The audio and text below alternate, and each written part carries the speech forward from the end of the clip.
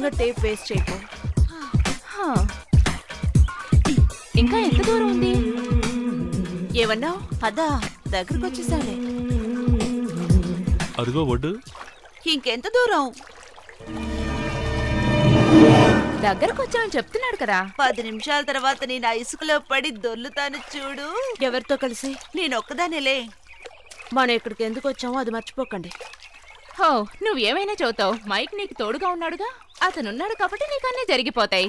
మరి మాకెవరూ లేరుగా? యా.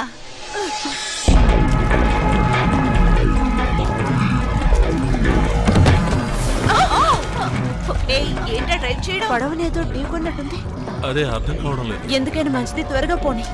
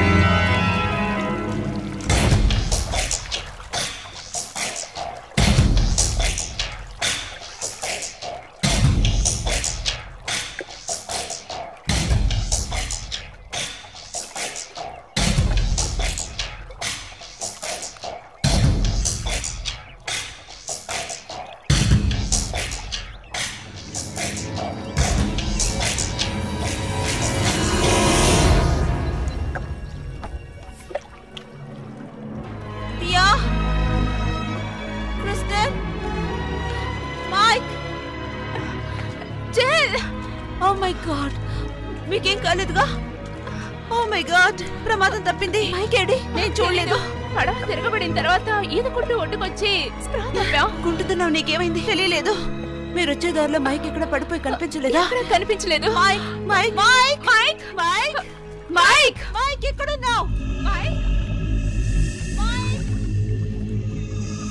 మైక్ మైక్ మైక్ ఎక్కడున్నావు? మైక్ ఎక్కడున్నావు మైక్? కెమెరా? మైక్ కెమెరా కాలెవరిది అది మైక్ కాలేనా? అవును నువ్వేం బాధపడకు. వద్దు, నా మాట విను. మీరు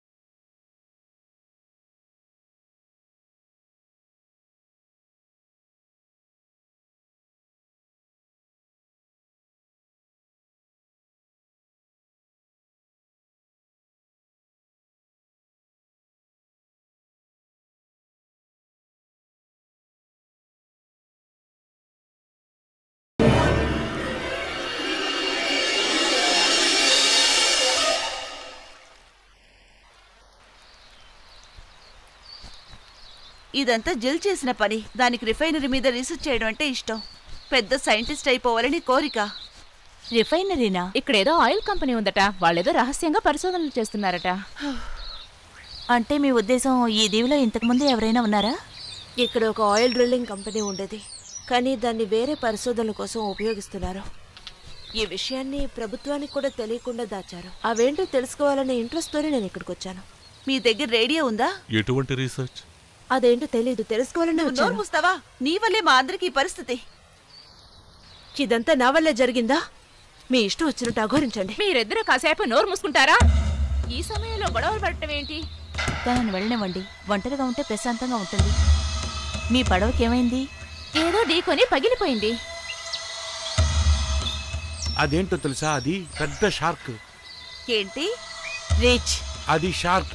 చాలా డేంజరస్ షార్క్. అతని మాటలు పట్టించుకోకండి. చనిపోయిన వారిలో అతని సోదరుడు ఉన్నాడు. అందుకే అలా మాట్లాడుతున్నాడు. మీరందరూ ఇక్కడికి ఎలా వచ్చారు? హే! నా కెమెరా ఎందుకు తీసావు? ఎందుకు అలా అరుస్తున్నావు? ఈ ప్రాంతం అంతా షూట్ చేస్తే ఏదైనా రహస్యం తెలుసుకోవచ్చని ప్రయత్నించాను. ఫోన్లే వదిలే. అతనికి నువ్వు తన కెమెరా పట్టుకోవడం ఇష్టం లేదు. సరే గాని మీరు ఎందుకు ఇక్కడికి వచ్చారు? నేను ముందే చెప్పాను కదా. లేదు. చెప్పలేదే. మేము టూరిస్టులం.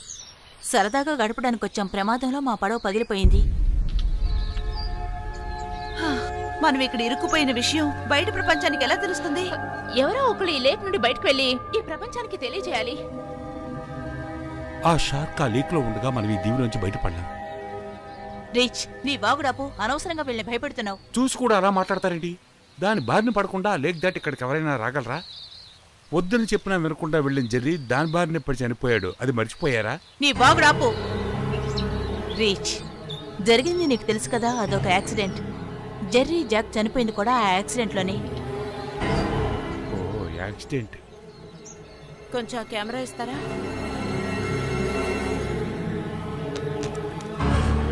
నేను మాటిస్తున్నాను దాన్ని మిస్యూజ్ చేయను. ఆ షార్క్ కనిపిస్తే షూట్ చేస్తాను. ఇప్పుడు చీకటి పడిపోతుంది కదా. ఈ రాత్రికి మనం మంటలు రాజేసుకొని విశ్రాంతి తీసుకుందాం. తెల్లవారుగానే దీని గురించి ఆలోచిద్దాం. ఒకవేళ మీకు రీసెర్చ్ సెంటర్ కనపడితే హెల్ప్ చేయమని సిగ్నల్ ఇవ్వండి. మంటలు వెలిగించుకుని దాని పరిసరాల్లో ఉండడమే మంచిది. మంచి ఆలోచనే.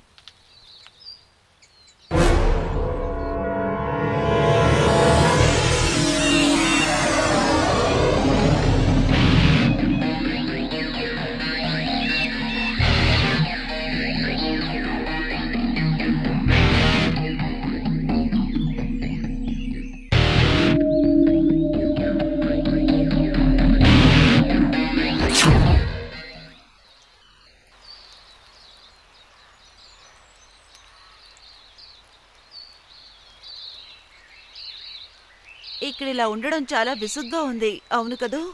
వాతావరణం వేడెక్కక ముందే మనం బయలుదేరడం మంచిది. నాకు తెలిసి దీవిలా రీసెర్చ్ సెంటర్ పశ్చిమం వైపు ఉండాలి. బీచ్ పక్కనే నడుచుకుంటూ వెళ్తే నాలుగైదు గంటల్లో చేరొచ్చు. లేదు నేను చచ్చినా నీళ్ళ వైపు రాను. తాను చెప్పేది నిజం. మనం అడవిలోంచి వెళ్ళడమే మంచిది. బీచ్ వైపుగా కాకుండా మనం అడవైపుగా నడుచుకెళ్తే అక్కడేం జంతువులు ఉన్నాయో మనకు తెలియదు కదా.